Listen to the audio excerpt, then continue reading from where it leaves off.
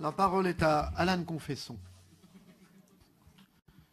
Non mais ça sera rapide. Moi je pense que de temps en temps il faut euh, s'intéresser un petit peu au fond des dossiers et pas simplement lire les fiches données par le Front National euh, pour donner un point de vue sur ces questions-là. D'autant que c'est une délibération qui concerne des investissements. Donc ce n'est pas vraiment l'opportunité de faire une critique générale des orientations données en politique de la ville.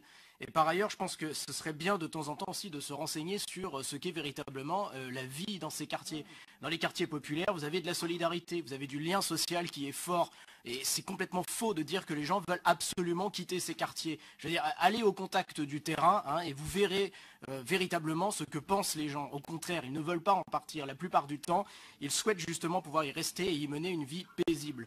Ceci étant, je pense aussi qu'il faut éviter de faire certaines généralités. Euh, je vous rassure quand même, je pense que tout le monde ici en est conscient, hein, euh, les discriminations femmes-hommes ne sont pas circonscrites au quartier populaire. Et je peux vous garantir que certaines femmes sont victimes de harcèlement de rue, euh, bien au-delà des frontières des quartiers défavorisés. Donc arrêtons un petit peu avec ces caricatures, qui sont par ailleurs pas du tout un problème simplement inhérent à certains tenants du radicalisme religieux. Par ailleurs, je pense quand même que les investissements qui sont ici proposés et que Renzo Sully a présentés euh, sont de nature euh, à euh, intervenir sur des équipements qui sont structurants pour ces quartiers et à justement contribuer à y améliorer la vie quotidienne.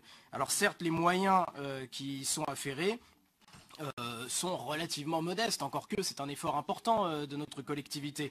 Peut-être pouvons-nous nous dire ici que la nomination d'un gouvernement sera peut-être l'occasion d'accentuer les efforts qui sont euh, faits en matière d'investissement sur les quartiers prioritaires de, la politique de la ville et que les moyens financiers euh, qui sont attribués puissent être plus importants. Car effectivement, la tâche est importante et c'est en ayant des moyens conséquents euh, pour la remplir que nous pourrons être efficaces. En tout état de cause, il est bien évident que nous soutiendrons euh, cette euh, délibération et que, franchement, je recommande vraiment au Front National de, sortir de ces caricatures et de ces préjugés et de s'intéresser un petit peu à ce qu'est vraiment la vie quotidienne dans les quartiers populaires qu'il ne connaît pas et dont on a vraiment l'impression qu'il n'a définitivement pas envie de les connaître.